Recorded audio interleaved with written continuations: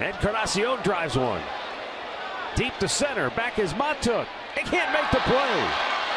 Bounces up against the wall. Triple. Rolling free.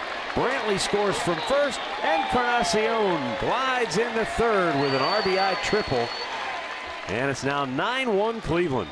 That's Eddie's first triple of the year. Well, this is the park to do it, and we talked about it.